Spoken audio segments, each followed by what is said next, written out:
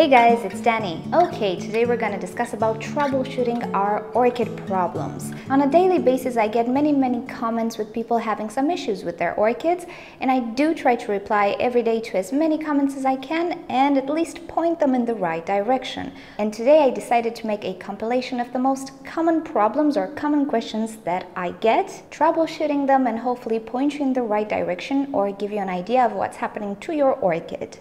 So the first problem is, my orchid has really floppy leaves and kinda leathery. What is happening to my orchid? Well, floppy and leathery leaves, more visible on Phalaenopsis orchids in general, are a sign of dehydration. And dehydration can have two causes.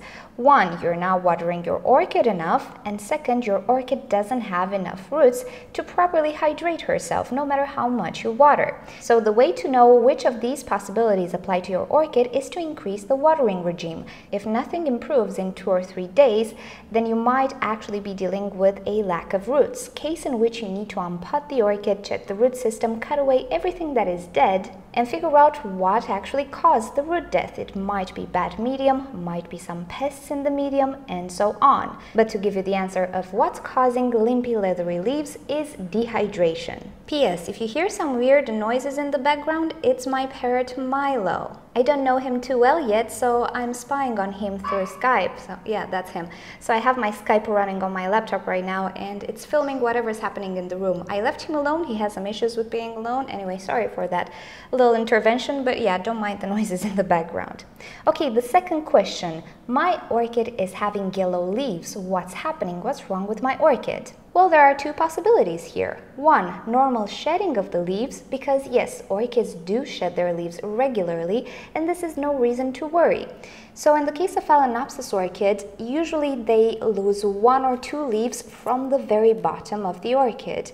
This is normal in Phalaenopsis orchids, but not only in Sympodial orchids as well. The older leaves tend to die off regularly, but new leaves are produced, or new pseudobulbs in the case of Sympodial orchids. So if you have one or two leaves at the base or on old pseudobulbs, it's probably normal. However, if you have multiple leaves going upwards on a Phalaenopsis orchid, yellowing, or new leaves on a Sympodial orchid, it is a reason to worry, and you should investigate possible causes. Now, the possible causes can be, in most instances, the stem of the orchid being affected or the pseudobulbs of the orchid. Sometimes it happens that due to dehydration, they will start to lose some leaves as well, and the cause of that is dehydration.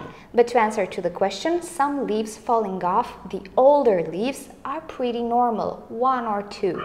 But if more leaves start to fall upwards on new growth, that's a sign to worry and to investigate further. The next question is My orchid has some spots. What does it mean? Is my orchid sick? Well, there might be multiple reasons why your orchid has spots. Let's start with the safe one. Some orchids naturally have some spotting. Both Phalaenopsis orchids, Oncidiums, and other orchids might have natural spotting. In this case, the spotting is rather dark purple than brown or very dark like black colors. Also, they are not raised or indented. They seem flush with the leaf, so they're more like freckles on an orchid. So this pigmentation might actually be normal. What you can do is actually research your orchid, look for pictures and see if other orchids of the same family have the very same spots. Other causes can include bacterial or fungal disease. And I do have a video on this issue and how to treat it in the description below, so feel free to check it out to learn more. In this case, pretty much you need to cut the affected tissue. Other times you might notice discolorations on your leaves. These can actually be sunburns. However, brown spots can be caused by sunburns as well. So in this case, make sure your orchid is not sitting in direct hot sun. Milo's talkative today, sorry for that. Alrighty, I muted Milo.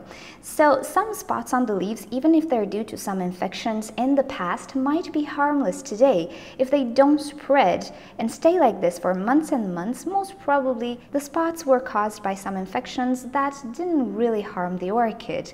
And these are the remains. In this case, you don't really need to do anything about it. If they don't spread, they will just affect the orchid visibly to you. But other than that, they really don't affect the orchid and you shouldn't really cut the leaf if the majority of it is perfectly functional. Other times they might be caused by some pests. And I do have a more extensive video, you can check out the description down below, in which I talk about the signs to look out for, the pests in general, and uh, so on. So if you're interested in this subject, do check the uh, description below and you will be able to see what type of damage pests can cause. Okay, the next question that I get a lot is why are my orchid roots dying all of a sudden? And well, this is a very tricky question to answer because causes might be multiple, starting with not being able to acclimate to your new medium if you are changing an orchid from a type of medium to a different type of medium, for example, sphagnum moss to bark or vice versa, and ending with inadequate medium. Maybe it's not suited for your environment, maybe it's old, maybe it's toxic, maybe it has pests, and so on. So in this instance, you need to check for multiple signs or multiple causes on your orchid. There isn't one single issue. In any case, I do have more videos in which I discuss some possible causes in the description down below. If you do check the description, you'll find quite a lot of videos that I am going to share with you because I did discuss about these problems.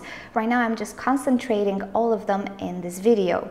In any case, if your orchid suffers some root loss, it's not necessarily a reason to panic. Orchids in general, the ones that are commonly available, are really hardy. And given the proper conditions and proper care, they will grow new roots that will be acclimated to your environment, your medium, and so on.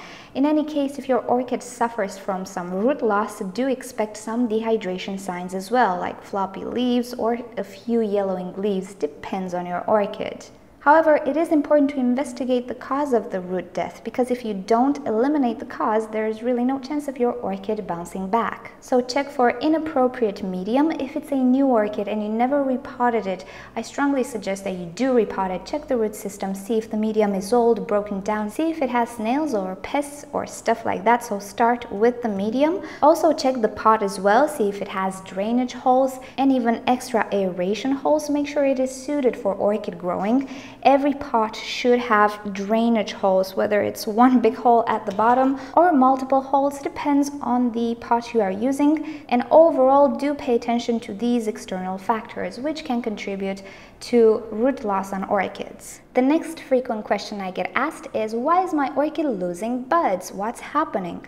Well, we call this bud blast. Pretty much it means that buds yellow and fall off before they even have a chance to open. Now this is quite frequent when you are purchasing a new orchid. You take it from the environment of the store, you bring it to your environment and it just so happens that it's very different. The orchid will respond with the loss of some buds because it is putting energy into acclimating to your new environment, maybe new setup, maybe you just repotted it and so on. It's not a rule that they will all lose buds when you bring them home or you repot them. However, sometimes it happens. So this is the most common reason why orchids lose buds. And I do have a video on the subject, a more extensive video. You can find it in the description below, of course. However, older orchids can suffer from bud blast as well. And here we can talk about maybe some other causes, like the orchid not being completely healthy. And I do have an example here.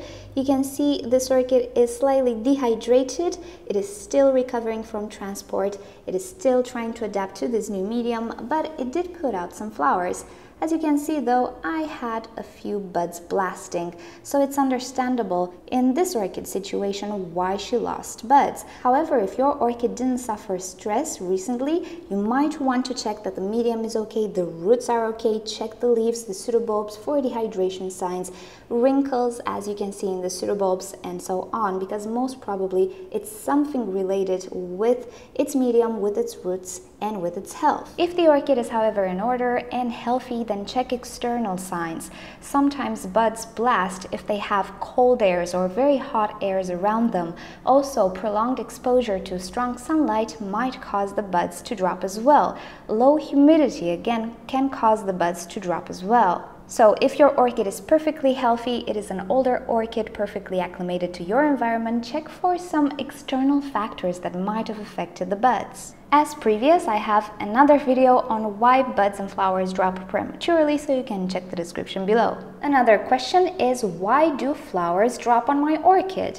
Well, there might be two possible reasons. The most common of all, believe it or not, is that they simply reached the end of their life. Flowers are not intended to live indefinitely, although orchids can hold on to them for a few months in the case of Phalaenopsis orchids, but eventually they will drop. So if they've been in bloom for you for the past three months and they're starting to drop, yeah, it's pretty normal, don't worry. In the case of oncidiums, they drop even faster, maybe in two weeks, three weeks, or in a week, depends how much they have been in bloom prior to you purchasing it. If, however, it is not a new orchid and it is established, you again need to check the overall health of the orchid. Make sure it's not dehydrated, make sure the roots are okay, medium is okay, just like in the previous case I talked about. Flowers are not necessarily an indication of health issues, so if your orchid is perfectly fine, again, check for those external factors that might have occurred, like hot or cold air drafts, also sun exposure, low humidity, um, a low humidity in the pot as well, and so on.